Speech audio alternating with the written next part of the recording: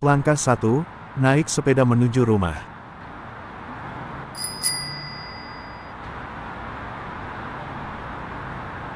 Langkah 2, kamu sampai di rumahmu. Langkah 3, parkirkan sepedamu dan masuk ke dalam rumahmu. Langkah 4, masuk ke kamarmu. Langkah 5, pergi menuju komputermu. Langkah 6, nyalakan komputermu dan mainkan komputermu.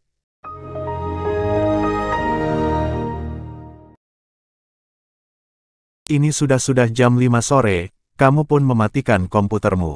Langkah 7, pergi menuju kamar mandi.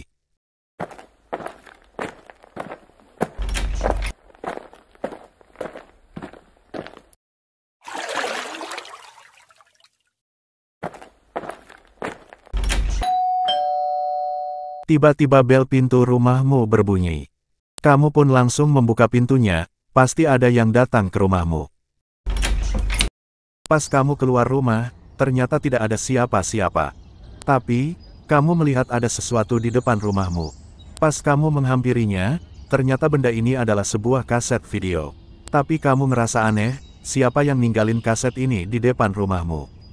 Karena ada orang yang ngasih kaset ini ke kamu, kamu pun bawa kaset ini ke dalam dan kamu mengeceknya.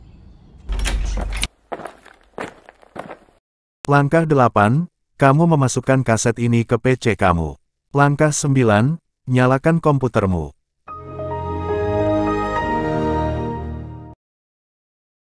Tunggu dulu, kok layar komputermu tiba-tiba jadi warna merah? Kamu terkejut, karena tiba-tiba kamu mendengar ada suara keras di komputermu. Dan juga di layar komputermu tiba-tiba muncul wajah seseorang. Lalu muncul sebuah teks di layar komputermu. Cepat keluar dari rumahmu dan lari. Kamu pun lari dari komputermu.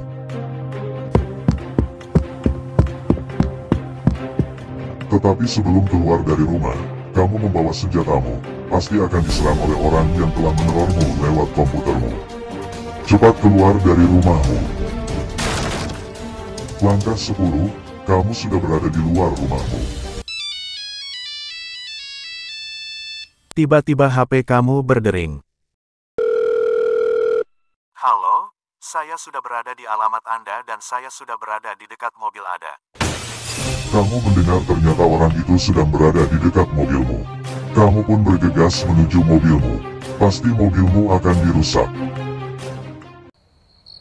Langkah 11, kamu tiba di tempat parkir mobilmu.